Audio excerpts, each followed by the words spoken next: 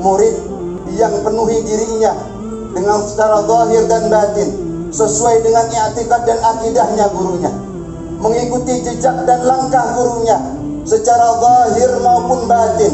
Zahir dia menunjukkan cinta kepada gurunya.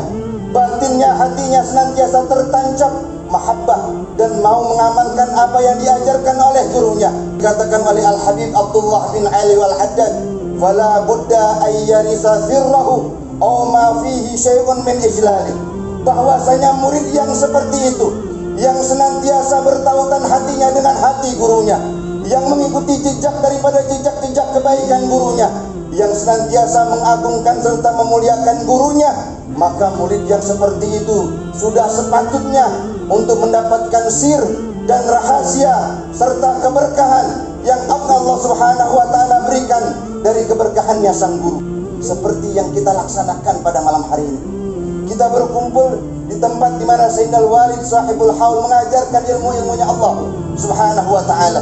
Kita berkumpul bagaimana Sayyidina Walid mengumpulkan orang banyak untuk melaksanakan sunnah-sunnah yang diajarkan oleh baginda Rasulullah sallallahu alaihi wasallam. Maka tentunya dengan keyakinan kita hakul yakin bahwasanya sahibul haul memandang kepada kita semuanya dengan pandangan yang penuh rahmat, pandangan kebahagiaan dan kebanggaan.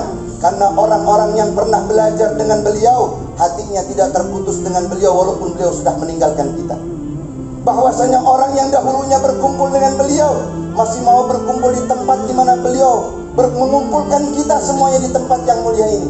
Keikhlasan beliau keilmuan beliau keberkahan yang sudah pasti yang ada dalam diri beliau maka insya Allah akan tercurah buat kita semuanya. Mudah-mudahan tidak ada rasa Bagaimana sahibul haul itu akan membenci kita. Tidak akan ada rasa kekecewaan almarhum kepada kita semuanya.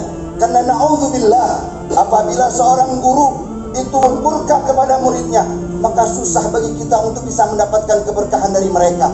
Dikatakan oleh Abu Sahal As-Su'ulaki di dalam kitab beliau menyatakan bahwasanya hukukul walidaini tanhuhu bitaubati bahwasanya tatkala seseorang itu durhaka kepada kedua orang tuanya walaupun perbuatan tersebut itu tidak dianjurkan buat kita maka jikalau ia bertaubat kepada Allah Subhanahu wa taala atas perbuatan-perbuatan durhakanya kepada kedua orang tuanya maka taubatnya tersebut itu akan bisa mendapatkan penghapusan dari Allah Subhanahu wa taala atas kesalahannya. Akan tetapi